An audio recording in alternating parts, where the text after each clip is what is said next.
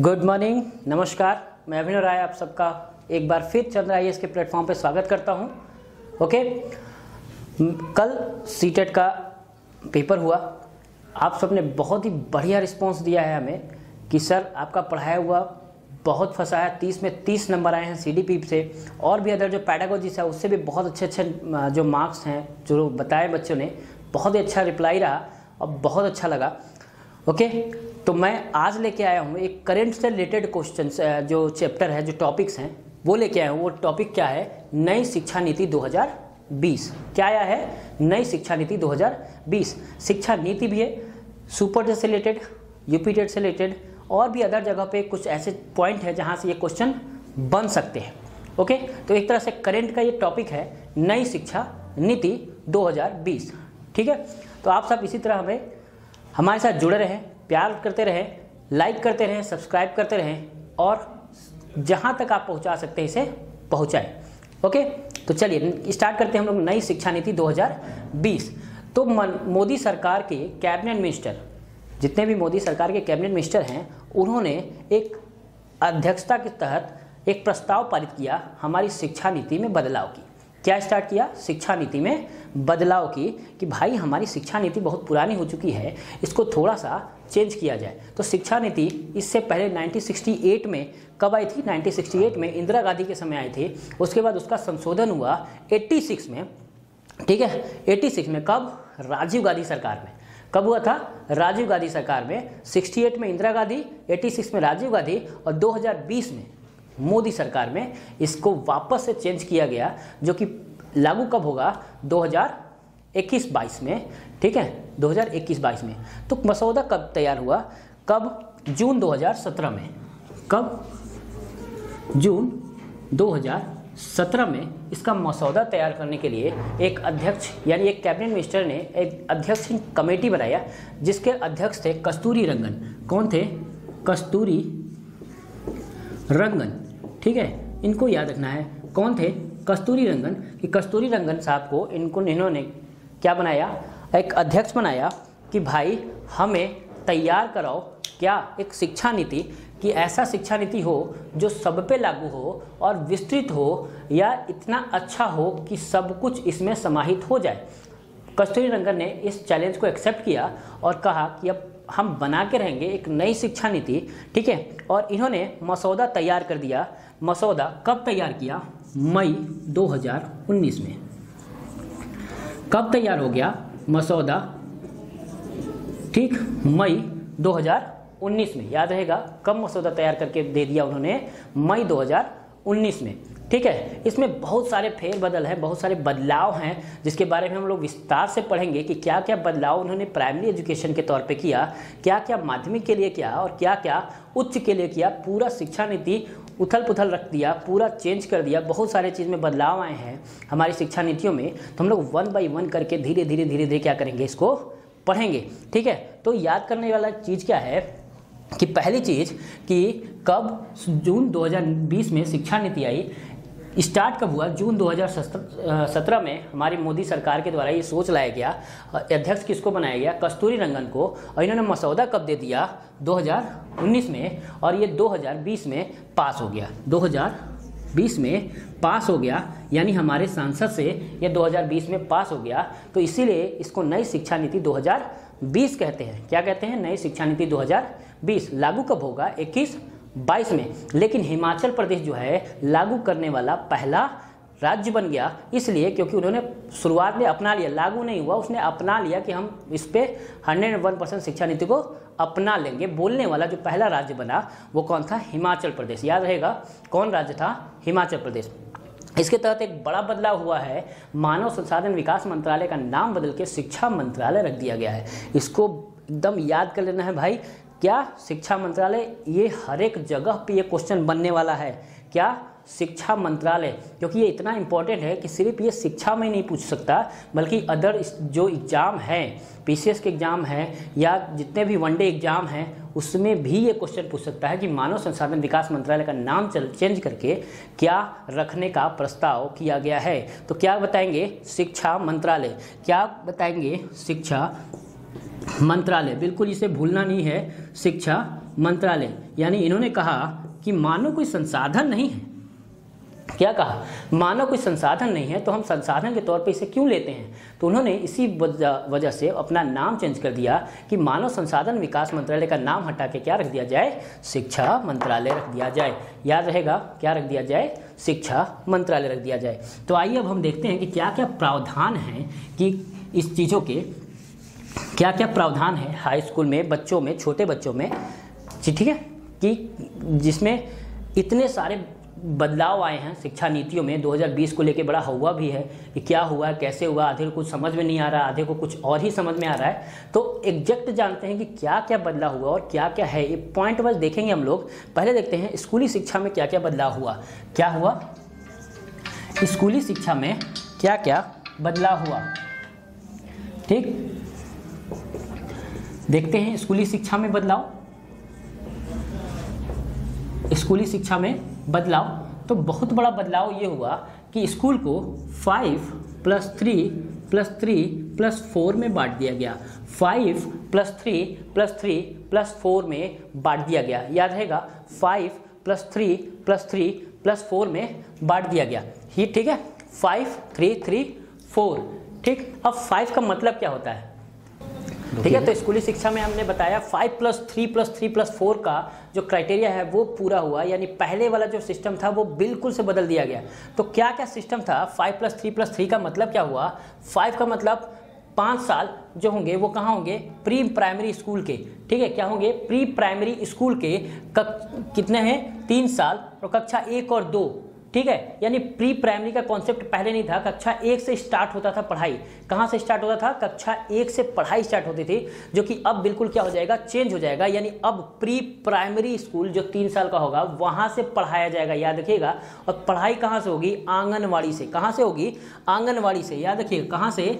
आंगनवाड़ी में दिया जाएगा। बिल्कुल याद रखना है, पहले प्राथमिक जो तीन साल होगा, वो कहाँ होगा? आंगनवाड़ी में होगा।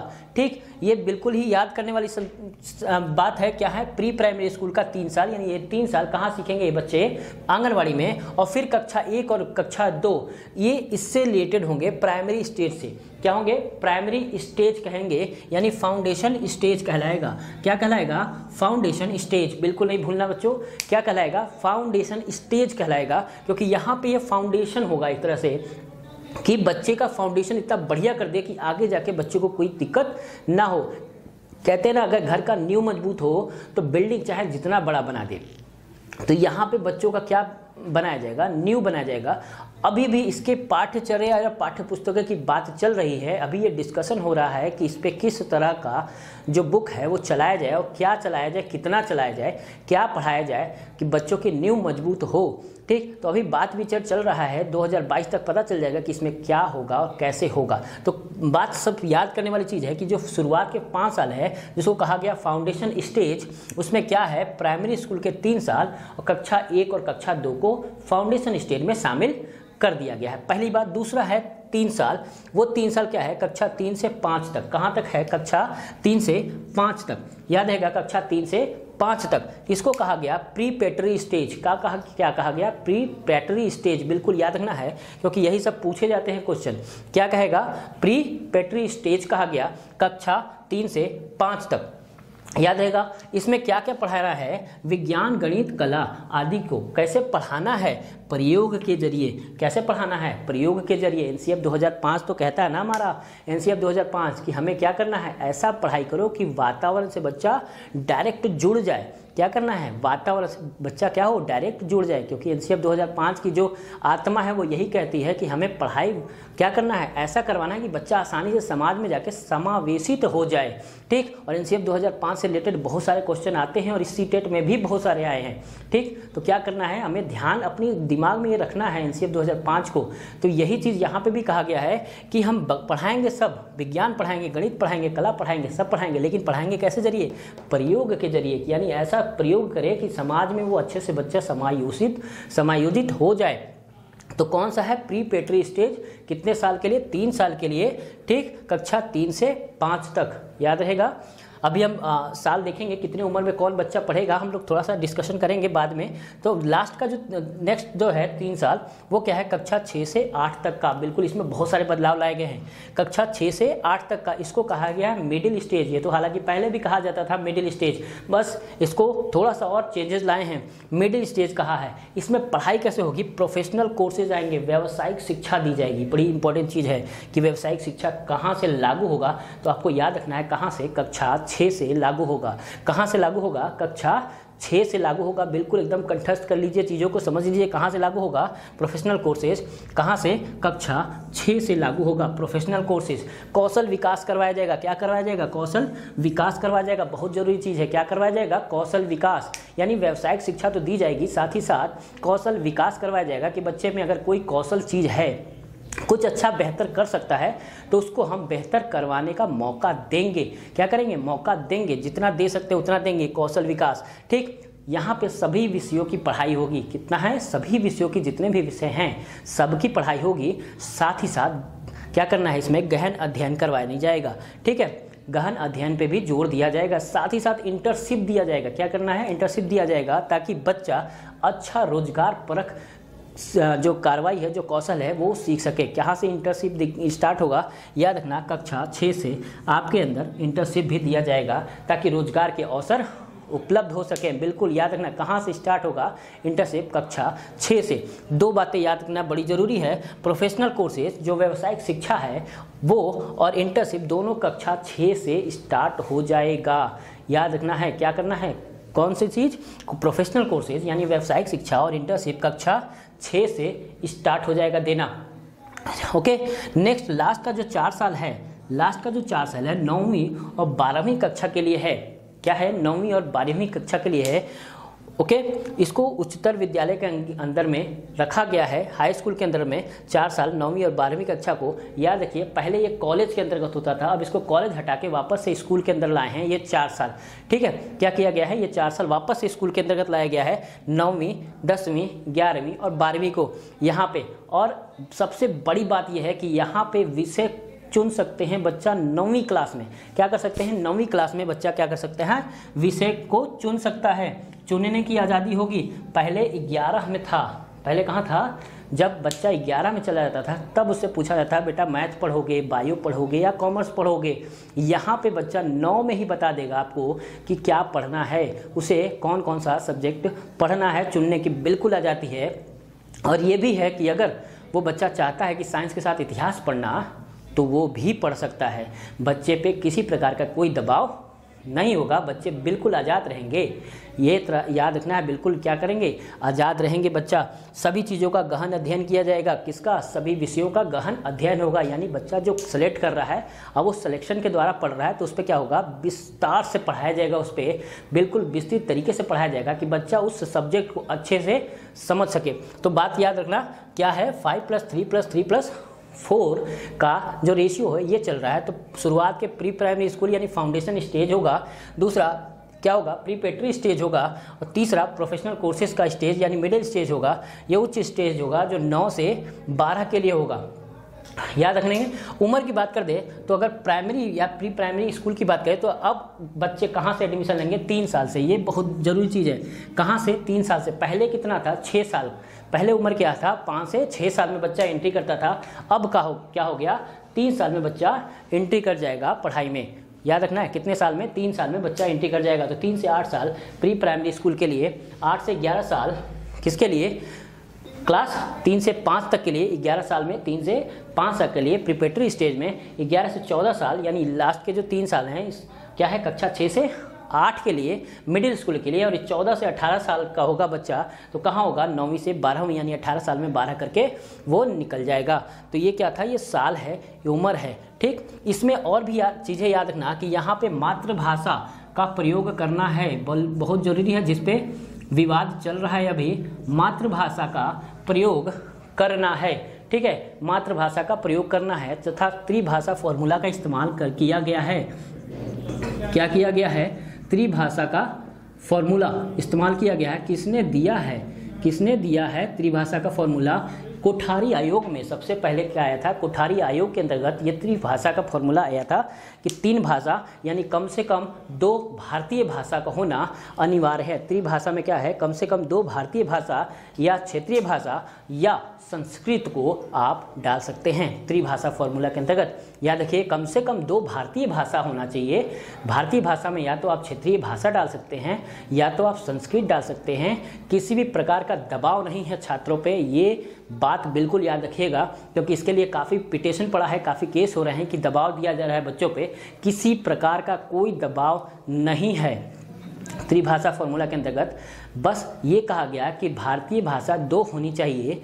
है ना? या तो उसमें वो क्षेत्रीय भाषा हो या संस्कृत हो, ठीक है? तो दो भारतीय भाषा होना चाहिए और एक मानक भाषा के तौर पे आप कुछ भी ले सकते हैं, इंग्लिश या फॉरेन लैंग्वेज में कोई भी आप पढ़ा सकते हैं मानक भाषा के रूप में। तो दो भारतीय भाषा जिसको लेना बहुत ज़रूरी है, यही है त्रिभाषा फॉर्मूला कोठारी आयोग की तरफ़ से। उसको यहाँ पर डाला गया है और शिक्षा को कहा गया है, मातृभाषा में दिया जाए खासकर प्राथमिक भाषा को। कहाँ पर प्री प्राइमरी स्कूल में मातृभाषा में। वो तो हमारा बहुआयामी जो सिद्धांत है, वो भी कहता है, एनसीएफ 2005 कहता है आरटी 2009 कहता है। कोई नई बात नहीं है, पता नहीं किस बात पे विवाद हो रहा है इसके लिए। तो वो तो सब कहते हैं कि मातृभाषा, भाई, बच्चा घर से आ रहा है, घर से क्या सीख के आ रहा है, वो अगर अपनी बातों को उस समय नहीं रखेगा तो हम उसके विचारों को समझ कैसे पाएँगे? अगर हम डांट देंगे, ठीक है, अगर सपोज़ कीजिए वो बच्चा कुछ और कह रहा है, हमें समझ में नहीं आ रहा है, या हिंदी बोल रहा है, मैं बोलता, नहीं, इंग्लिश का स्कूल है, बैठो, इंग्लिश में बोलना है। तो बच्चा क्या करेगा, अपनी विचार जो है वो सामने प्रकट नहीं करेगा, और जब नहीं करेगा तो क्या हो जाएगा बच्चा डाउन हो जाएगा। बच्चा क्या होगा? डाउन हो जाएगा, बच्चे का विकास अवरुद्ध हो जाएगा। इसलिए मातृभाषा में अगर बच्चा कुछ बोल रहा है तो उसे बोलने दिया जाए। उसकी मौलिकता को समाप्त न किया जाए। याद रखिएगा, मौलिकता को समाप्त न किया जाए। ठीक? तो ये सब चेंजेस हुए हैं five plus three plus three plus four के। थोड़ा सा हम लोग देख लेते हैं कि हाई स्कूल और इंटर के साथ क्या हुआ है। हाई स्कूल और इंटर के साथ, क्योंकि थोड़ा सा बोर्ड परीक्षा को लेकर बड़ा विवाद है कि बोर्ड परीक्षा होगा कि नहीं होगा। ठीक है? बोर्ड परीक्षा होगा कि नहीं होगा? याद रखिएगा, बोर्ड परीक्षा तो होगा, ठीक है? लेकिन साल में दो बार, ठीक है? एक साल में दो बार छः छः महीने का एक सेमेस्टर वाइज एग्ज़ाम होगा। ठीक? दसवीं और बारहवीं को लेके काफ़ी विवाद है कि दसवीं और बारहवीं में क्या होने वाला है भाई? दसवीं और बारहवीं के एग्ज़ाम क्या होने वाला है? इसका पैटर्न क्या होने वाला है? किस तरीके से होने वाला है? तो याद रखिएगा, बोर्ड परीक्षा में थोड़ा सा बदलाव किया गया क्योंकि यहाँ पे दबाव बहुत था बच्चों के अंदर। कि क्या हो जाए, कैसे हो जाए गार्जियन का दबाव, समाज का दबाव, बच्चे का दबाव, विद्यालय का दबाव, इतना दबाव था। और इस पर तो अपने मोदी जी ने एक लिख भी दिया है, एग्ज़ाम वॉरियर। ठीक है, क्या लिखा है? एग्ज़ाम वॉरियर, एक बुक का नाम। काफ़ी फ़ेमस है, इस बुक को याद रखिएगा। तो क्या किया है? तो एग्ज़ाम वॉरियर के तहत उन्होंने भी देखा कि बच्चों के अंदर जो है, बहुत दबाव है। तो क्या किया जाए इसमें? तो इन्होंने कहा कि हाई स्कूल और जो बोर्ड परीक्षा है, उसको समाप्त कर दिया जाए। क्या किया जाए? समाप्त कर दिया जाए और उसकी जगह पे दो एग्ज़ाम किया जाए। कितने एग्ज़ाम? दो एग्ज़ाम हो। कितने एग्ज़ाम हो? दो एग्ज़ाम छः छः महीने के। ठीक है? कितने? छः छः महीने के। ठीक है? याद रखिएगा सिक्स मंथ के दो एग्ज़ाम हो, अभी थोड़ा सा इस पर बात विचार चल रही है कि ये जो छः छः महीने का एग्ज़ाम होगा, इसमें क्या पाठ्यक्रम रहेगा? इस पर अभी विवाद चल रहा है क्योंकि अभी बातचीत चल रहा है क्योंकि छः महीने का जो कोर्स होगा, क्या छः महीने का कोर्स हो जाए तो उसके बाद समाप्त करके नेक्स्ट छः महीने वाला हो क्या लास्ट में जो छः महीना हो, पूरे ओवरऑल वन ईयर का हो, इस पर बात विचार चल रहा है। हम अपने मन से अगर कह भी दें तो मान लेने वाला तो बहुत लोग कह ही जाते हैं। यूट्यूब पर बहुत सारे वीडियो ऐसे हैं जो उसने कह दिया है, ठीक? कि ये ये पढ़ाया जाएगा और इस तरह एग्ज़ाम होगा, ऐसा अभी तक कोई नहीं कहा है। जब तक कि सरकार खुद ही कह रहा है कि अभी ये चीज़ों में बातचीत चल रही है, जब बातचीत हो जाएगी तो मैं क्लियर करके बता दूँगा कि क्या पूरे साल का कोर्स एक साथ आएगा या छः छः महीने का। ठीक, अनुमान ये है, अनुमान ये है कि छः महीना पढ़ाने के बाद ये छः महीना समाप्त हो जाएगा, वापस जो जो छः महीना पढ़ाया जाएगा, उस छः महीने का एग्ज़ाम होगा। अवलोकन ये है, अनुमान ये है।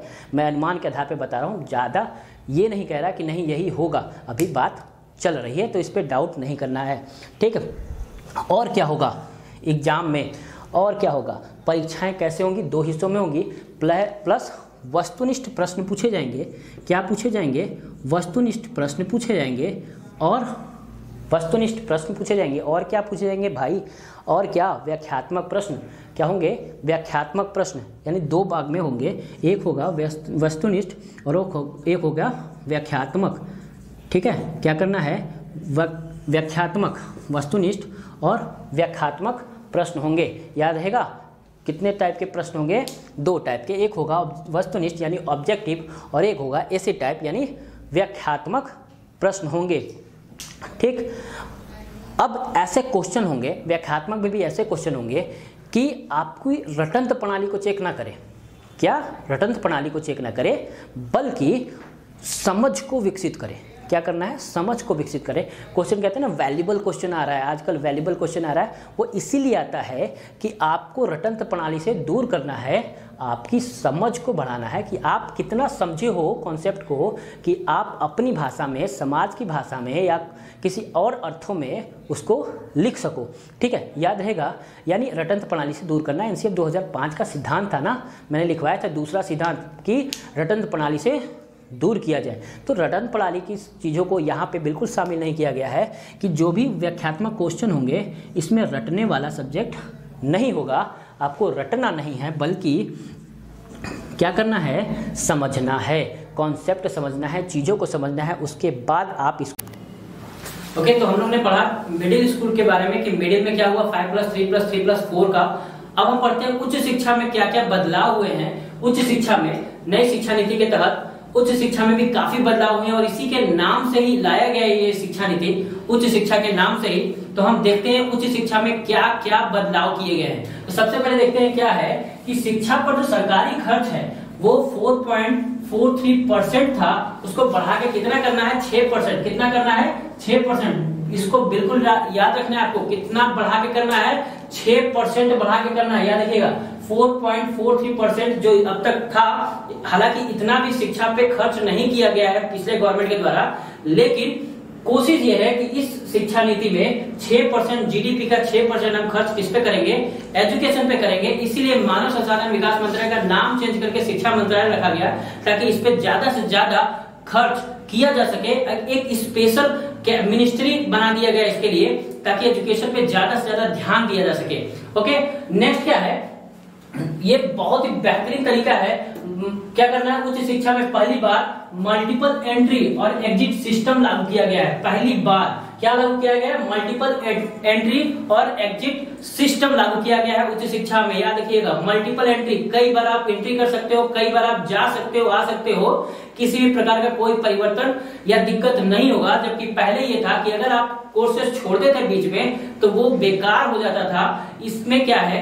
इस तरह से रिसोर्सेज जो थे हम अब जो जितने भी स्टूडेंट थे पढ़ने वाले, वो रिसोर्सेज बन सकते थे, लेकिन वो बीच में छूटने की वजह से किसी से कारण बस बहुत सारे कारण होते हैं, या तो चोट लग गया, या तो आर्थिक परिस्थिति ऐसी हो गई जिसकी वजह से छूट जाता था पढ़ाई ओके तो यहाँ ये हो गया कि आप अगर छूट जाता है तो फिर से वहीं से स्टार्ट कर सकते हैं। तो मल्टीपल एंट्री और एग्जिट सिस्टम लागू कर दिया गया। उच्च शिक्षा में इसको याद रखना क्या किया गया है। मल्टीपल एंट्री और एग्जिट सिस्टम तो मल्टीपल एंट्री से क्या होगा? अगर एक साल की पढ़ाई आप छोड़ते हो तो आपको एक सर्टिफिकेट दिया जाएगा। क्या दिया जाएगा? एक सर्टिफिकेट दिया जाएगा एक साल की पढ़ाई छोड़ने के बाद। अगर दूसरे साल छोड़ते हो तो आपको डिप्लोमा मिल जाता है। यानी दूसरे साल अगर आप शिक्षा नीति में नई शिक्षा नीति के तहत अगर दूसरे साल में आप पढ़ाई छोड़ देते हो तो आपको खाली हाथ नहीं भेजा जाएगा, बल्कि आपको एक डिप्लोमा की सर्टिफिकेट दिया जाएगा। अगर तीसरे साल आप छोड़ते हो तो एक इंटरमीडिएट सर्टिफिकेट कुछ इंटरमीडिएट सर्टिफिकेट दे दिया जाएगा कि आप तीसरे साल जो है पढ़ाई लिखाई छोड़ रहे हो, क्योंकि लगभग लगभग आप जो भी चीज़ें, चाहे आप बीएड कर रहे हो, चाहे बीपीएड कर रहे हो या चार साल का होने वाला है। यानी आपको अगर शिक्षा में जाना है तो शुरुआत में चले जाओ इंटर करने के बाद तो तीन साल का बी और एक साल का बीएड करके आप पास हो सकते हो। अभी अगर आप रेगुलर तरीके से करते हो तो क्या करना पड़ेगा? आपको तीन साल का बीए करना पड़ेगा, फिर दो साल का अलग से बीएड करना पड़ेगा। लेकिन इस नियम के तहत आप बीपीएड कर सकते हो, यानी शुरुआत में आप तीन साल और एक साल का बीएड करके भी पास हो सकते हो। इसी तरह से एमए में भी चेंजेस लाए गए हैं। यानी अब तीन साल का बीए और एक साल का एमए अगर उसी तरह से आप चलते जा रहे हो तो ये मर्ज करके बीए में एक साल का कर दिया गया है। यानी बीए तीन साल और एमए एक साल का करके आप बीए में भी चार साल में पास हो सकते हो इस तरह नए कोर्सेज के अकॉर्डिंग तो क्या है? तीसरे साल पे इंटरमीडिएट सर्टिफिकेट दिया जाएगा और चौथा साल जैसे पूरा करते हो आप डिग्री मिल जाएगा। यानी डिग्री आपका मौजूद हो जाएगा। यानी स्पेशली ये किसके लिए देखा गया है? हमारे बीटेक छात्र अक्सर छोड़ देते हैं किसी कारणवश या कोई भी चीज़ें। तो वहाँ पे ऐसा ना हो कि उन, उनके लिए ये चीज़ खराब हो जाए। तो इसलिए मल्टीपल एंट्री लाया गया है। और ऐसा है कि ये चीज़ खराब ना हो इसके लिए डिजिटल रूप से आपको सुरक्षित रखा जाएगा। कहाँ पे? एकेडमिक बैंक ऑफ़ क्रेडिट में। कहा रखा जाएगा? एकेडमिक बैंक ऑफ़ क्रेडिट में आपके सर्टिफिकेट को डिजिटलाइज करके रखा जाएगा। अभी भी कई सारे ऐप हैं जहाँ पे आप डिजिटल रूप में जितने भी सर्टिफिकेट है उसको सुरक्षित रख सकते हैं। लेकिन अब गवर्नमेंट के द्वारा बनाया गया है एकेडमिक बैंक ऑफ़ क्रेडिट जिसमें आपसे रिलेटेड जितने भी सर्टिफिकेट हैं, चाहे वो हाई स्कूल के हो इंटर के हो बीए हो, ठीक है? आगे जितने भी एक साल पे, दो साल पे, तीन साल पे या पूरे साल अगर आप कर रहे हो तो सबका एक जगह मौजूद रहेगा, वो होगा क्या? एकेडमिक बैंक ऑफ़ क्रेडिट याद रखना एकेडमिक बैंक ऑफ़ क्रेडिट उसके बाद बहुस्तरीय प्रवेश व्यवस्था लागू करने की कोशिश हो रही है, जिसका करवाएगा कौन? नेशनल टेस्टिंग एजेंसी ठीक है? क्या करवाएगा? नेशनल टेस्टिंग एजेंसी जो क्या करना है? जो एग्ज़ाम हम अलग अलग देते थे, जैसे बीएचयू का निकलेगा तो हम अलग देंगे। ठीक है जवाहरलाल नेहरू का निकलेगा तो हम अलग देंगे, डीयू का निकलेगा तो अलग देंगे। तो ये सारी जो व्यवस्थाएँ हैं, जिससे स्टूडेंट बहुत ज़्यादा परेशान होते हैं और बहुत ज़्यादा फॉर्म में पैसे चले जाते हैं तो इस सिस्टम को खत्म करने की कोशिश हो रही है। और खत्म करके क्या करा जाएगा? एक साथ एग्ज़ाम होगा।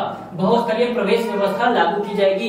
पूरा ही पूरा जो एंट्रेंस एग्ज़ाम होगा, वो पूरे यूनिवर्सिटी का एक साथ होगा। याद रखना करवाएगा कौन? नेशनल टेस्टिंग एजेंसी कौन करवाएगा? एनटीए याद होगा, आप जब आप जब एग्ज़ाम देने जाते हो स्पेशली नेट का तो अब नेट यूजीसी तो करवाता ही है। यूजीसी का अलावा एनटीए भी करवाता है, ताकि ये पता चले कि एनटीए सही से वर्क कर रहा है, नहीं कर रहा, और बहुत ही बेहतरीन कर रहा है। इसलिए एनटीए को ये पूरा ही, पूरा कॉलेज का जो बायोडाटा है, जो उसको भेज दिया गया है कि अब जो है एग्ज़ाम बहुत स्तरीय होगा, और पूरे देश में एक साथ कॉलेज के लिए एग्ज़ाम होंगे, और वो करवाएगा कौन? एनटीए नेशनल टेस्टिंग एजेंसी उसके बाद क्या हुआ? एमफिल को समाप्त कर दिया गया। बहुत बड़ी न्यूज़ है ये एमफिल को। समाप्त कर दिया गया क्योंकि पहले रिसर्च करने से पहले हम एमफिल पास, पास होना पड़ता था। उसके बाद ही रिसर्च करना पड़ता था। अब ये हो गया कि बिना एमफिल के आप एमए करो और डायरेक्ट चले जाओ पीएचडी करने। ये एक बहुत ही बेहतरीन न्यूज़ है हम सबके लिए। क्या करना है? एमफिल को समाप्त कर दिया गया और एमफिल समाप्त होते ही हमारे लिए पीएचडी का रास्ता आसान हो गया। अब हमें एमफिल पास करके पीएचडी नहीं जाना पड़ेगा, बल्कि हम डायरेक्ट एमए करने के बाद भी हम जा सकते हैं। पीएचडी कोर्सेज में जिसको भी डॉक्टरेट की उपाधि चाहिए, जिसका खोज है, जिसकी लालसा होती है कि हमारे नाम के आगे डॉक्टरेट लग जाए पीएचडी कर जाए पीएचडी होल्डर हो जाए, वो आसानी से अब जा सकते हैं। बीच में एक एमफिल नाम का रोड़ा नहीं लगेगा। नेक्स्ट क्या है? जितने भी हमारे रेगुलेटरी बॉडी हैं, यानी यूजीसी एनसीटीटी और एआईसीटी समाप्त कर दिया गया है। ये याद रखिएगा, ये सब जितने भी रेगुलेटरी बॉडीज हैं हमारे, शुरू से चले आ रहे हैं, वो सबको समाप्त कर दिया गया और क्या बनाया गया? नेशनल रिसर्च फाउंडेशन को बनाया गया। ठीक है? क्या बनाया गया? नेशनल रिसर्च फाउंडेशन को। और ये किसके अंतर्गत डाला गया? Higher education commission of India के तहत, यानी यूजीसी इन सबको हटा के क्या बनाया गया? Higher education commission of India बनाया गया, जिसमें नेशनल रिसर्च फाउंडेशन के तहत इन सब के द्वारा देखा जाएगा, सीखा जाएगा और रिसर्च करवाया जाएगा। या देखिए रिसर्च पे बहुत ज़्यादा खर्च है इस 2020 में। तो करना क्या है नेशनल रिसर्च फाउंडेशन को लाया गया है। किसके, किसको हटा के? यूजीसी एनसीटी और एएसआई एआईसीटीई को हटा के एक रेगुलेटरी बॉडी लाया गया है नेशनल रिसर्च फाउंडेशन जो स्पेशली रिसर्च को ही ध्यान देगा, क्योंकि जब बाहर से जब आते हैं लोग या बहुत सारे लोगों पर रिसर्च हो रहा था तो पता चला इंडिया का रिसर्च का जो डेटा है वो बहुत ही कम है। हम कोई चीज़ नई रिसर्च करने के पीछे नहीं भागे तो यहाँ पे स्पेशली मोदी जी का ख्वाब ये था कि हमारे जहाँ जो बच्चे हैं वो सृजनात्मक आए, ज़्यादा से ज़्यादा बच्चे जो हैं, सृजनात्मक हो, ज़्यादा से ज़्यादा बच्चे टैलेंटेड हो। और टैलेंटेड होने के लिए रिसर्च फैकल्टीज पे ध्यान देना बहुत ज़रूरी है। तो इन्होंने रिसर्च फैकल्टीज को स्पेशली ध्यान दिया। नेशनल रिसर्च फाउंडेशन और एक अलग से संस्था बनाई यूजीसी को हटा के higher education commission of India जो कि डायरेक्ट डायरेक्ट प्रधानमंत्री के अंतर्गत होगा। ये बड़ी न्यूज़ है, क्योंकि यहाँ पे प्रधानमंत्री डायरेक्ट अपना देखेंगे कि क्या ये उच्च शिक्षा पे ज़्यादा ध्यान हो रहा है कि नहीं हो रहा। तो इन जितने भी रेगुलेटरी बॉडी है, उनको हटा दिया गया और लाया किसको गया है? Higher education commission of India को बेहतरीन तरीके से इसको समझना है। 2020 में। क्या करना है? नेशनल रिसर्च फाउंडेशन जो कि रिसर्च पे ध्यान देगा और पूरा हायर एजुकेशन कौन देखेगा? Higher education commission of India okay next है 2030 तक। हर ज़िले में कम से कम एक बहुविषयक संस्था लाना है। मल्टी डिसिप्लिनरी सिस्टम ठीक है? बहुविषयक संस्था लाना है। क्या करना है? बहुविषयक संस्था। हायर एजुकेशन बहुविषयक संस्था लाना है। याद रखना है? 2020 में ओके तो ये क्या करना है? 2020 लागू हो रहा है। लागू कब होगा? 21 22 में जाके। याद रखिएगा 21 22 में जाके लागू होगा। अभी ये लागू नहीं हो रहा, बस ये लाया जा रहा है। अभी विस्तार से बात होनी है, अभी बात बैठक सब है, ठीक है? लागू कब होगा? 21 22 में जाके। तो क्या करना है? बहुविषयक संस्था लाएगा हर एक ज़िले में, कम से कम, ठीक है? कब तक लाना है? 2030 तक। कब तक लाना है? 2030 तक। याद रहेगा? 2030 तक करना है क्या? बहुविषय संस्था। ओके नेक्स्ट क्या है? उच्च शिक्षा में 50 percent gross enrolment ratio 50 percent gross enrolment ratio बढ़ाने का लक्ष्य रखा गया है। क्या करना है? 50 परसेंट ग्रॉस इनरोलमेंट रेशियो रखने का लक, रक, क्या कह रहा है? लक्ष्य रखा गया है कब तक? 2030 तक। 2030 तक इसको कितना करना है? 50 परसेंट करना है। ग्रॉस इनरोलमेंट रेशियो का मतलब होता है कि कितने लोग आते हैं डेली पढ़ने के लिए। इनरोल कितने लोग होते हैं? इस इनरोलमेंट को देखना है। तो कितना करना है? पचास परसेंट उसी तरह आपको भी इनरोल होना है कहाँ पे? चंद्रा आई में। ठीक है? आप भी इनरोल हुई लाइक करिए लाइक करते रहिए सब्सक्राइब करिए, जल्दी से जल्दी जल्दी से जल्दी एनरोल होइए कि ऑनलाइन क्लासेस आपके सुचारू रूप से चलना प्रारंभ हो। ओके तो क्या करना है? पचास परसेंट जीआर को पहुंचाना है। कहाँ तक? और सीट जोड़ने हैं। तीन दशमलव पचास पाँच करोड़ नई सीट जोड़ने का लक्ष्य रखा गया है। कितना? तीन दशमलव पाँच करोड़ नई सीट जोड़ने का लक्ष्य रखा गया है। इसको याद रखना है। कितना? दो हज़ार तीन दशमलव पाँच करोड़, दो हज़ार तीस तक। कहाँ तक? दो हज़ार तीस तक। इसमें और भी ध्यान रखना है, आसपास जितने भी हैं, वहाँ पे नए नए उच्च स्कूल, जितने भी उच्चतर स्कूल है जो डिग्री कॉलेज कराते हैं, वो सबको खोलने का लक्ष्य रखा गया है। उच्च शिक्षण संस्थान खोलने का लक्ष्य रखा गया है। कब तक रखा गया है? 2030 तक। और नई सीट कितने हैं? तीन दशमलव पाँच करोड़ नई सीटों का आवंटन करना है। याद रखना है कितना? 2030 तक नई नई शिक्षण संस्थाएँ खोलनी है प्लस तीन दशमलव पाँच करोड़ नई सीट जोड़ना है और 50 परसेंट ग्रोथ एनरोलमेंट रेशियो को बढ़ाना है 2030 तक। ठीक? यहीं पे नया चीज़ है जिसपे काफ़ी आलोचना हो रहा है। विदेशी विश्वविद्यालय को भारत में खोल कैंपस खोलने की अनुमति दी जाए। इस पे काफ़ी आलोचना है, क्योंकि बहुत सारे जो जानकार हैं, जितने भी सामाजिक विद हैं, वो इसी बात पे आ रहे हैं कि अगर बाहर से कैंपस आता है इंडिया में तो दो चीज़ का नुकसान होगा। एक, हमारी संस्कृति का नुकसान होगा, वो अपनी संस्कृति को बढ़ावा देंगे। और दूसरी चीज़ कि यहाँ पे आके अपने स्कूलों के कैंपस कम हो जाएँगे, उनका जो डिमांड है वो ज़्यादा हो जाएगा। तो इस तरीके से ये सोच है। हालाँकि हमारी तरफ़ से भी एक अच्छा निर्णय है, क्योंकि ऑक्सफोर्ड और कैम्ब्रिज जैसे विश्वविद्यालय में पढ़ने का सपना बहुतों का होता है, और वो अगर अपने ही देश में आ जाए तो आदमी पढ़ सकता है और भी। और हमारे यहाँ तक हो सका उनका शिक्षण विधियाँ जब आएगी इंडिया में तो शायद कुछ अच्छी शिक्षण विधियाँ हमारे अंदर भी आए और हम भी चीज़ों को चेंज करें। बदलाव करें। ये एक अच्छी नीति है। हमारे अकॉर्डिंग आपके अकॉर्डिंग क्या है, आप ज़रूर कमेंट करके बताइएगा कि आपको क्या लगता है कि ये जो सरकार कह रही है, विदेशी विश्वविद्यालय को भारत में कैंपस खुलना चाहिए, क्या ये बेस्ट है, क्या ये अच्छा है, या कमियाँ हैं इसमें, नहीं खुलना चाहिए? एक एक बार आप कमेंट करके ज़रूर बताइएगा कि आपको क्या लगता है। चलिए तो ये है खुलना चाहिए। तो ये सब चीज़ें जो है, उच्च शिक्षा में परिवर्तन करना ज़रूरी है। उच्च शिक्षा में क्या है? यही परिवर्तन करना है।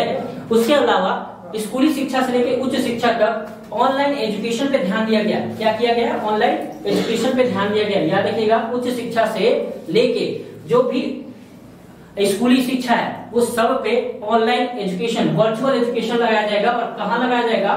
हर एक डिस्ट्रिक्ट में, हर एक डिस्ट्रिक्ट में कम से कम एक से दो, एक वर्चुअल ऑर्गेनाइजेशन होगा जो आपके लिए क्या करेगा? तैयारी करेगा। किसके लिए तैयारी करेगा? ऑनलाइन एजुकेशन के लिए। जैसे कोरोना में हुआ, काफ़ी प्रॉब्लम हो गई और प्रॉब्लम होने की वजह से आपको, आपके लिए क्या किया जाएगा? ध्यान दिया जाएगा। तो किसके लिए ध्यान देना है? उच्च शिक्षा के लिए। याद रखिए मिडिल यानी मेडिकल और एग्रीकल्चर साइंस को छोड़ के बाकी सबके लिए यूजीसी के हटा के क्या किया जाएगा? किसको ध्यान दिया जाएगा? National research higher education system जो लाया गया, उस पर ध्यान दिया जाएगा। तो ऑनलाइन शिक्षा है। नेक्स्ट देख लेते हैं मूल्यांकन प्रणाली क्या होगा जिसपे बड़ा विचार हो रहा है। मूल्यांकन प्रणाली क्या होगा? मूल्यांकन प्रणाली जिसपे 2020 ध्यान दे रहा है तो मूल्यांकन प्रणाली सतत मूल्यांकन होगा। क्या होगा? सतत मूल्यांकन होगा। या देखिएगा क्या मूल्यांकन होगा? सतत। देखिए, मूल्यांकन दो तरीके का होता है। एक होता है व्यापक ठीक है? व्यापक और दूसरा होता है सतत। ठीक है, एक होता है व्यापक और दूसरा होता है सतत। व्यापक का मतलब होता है पूरे साल का ओवरऑल डेवलपमेंट आपका देख लेते हैं, एक बार एग्ज़ाम कराते हैं बोर्ड कराते हैं और देख लेते हैं कि कितना एग्ज़ाम कितना कैसा हुआ। तो ये होता है व्यापक मूल्यांकन, जबकि 2020 कहता है कि हमें मूल्यांकन सतत आधार पे करना है। किस आधार पे करना है?